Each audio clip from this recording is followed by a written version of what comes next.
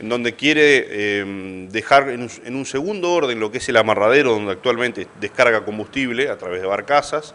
eh, y quiere llevar este, a través de, mm, bueno, dos, dos alternativas.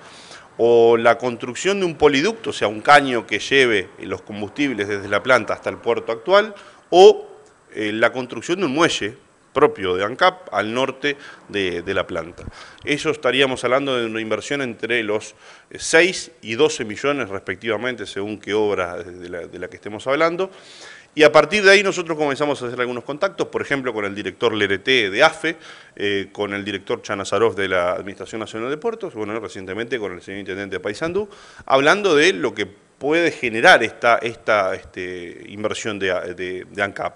Y lo que puede generar nosotros entendemos es también diversificar otros, este, otra logística para Paysandú y en, qué sentido, bueno, nosotros estamos proponiendo, por ejemplo, que eh, esos recursos eh, ANCAP los pueda destinar también a la reconstitución de la vía férrea que va desde la planta hasta el puerto, para no solamente llevar combustible, sino, por ejemplo, para llevar el cemento, para llevar clinker, para traer este, vía fluvial lo que es el carbón y coque que necesitan para, las, calderas de la, eh, los hornos del emprendimiento fabril.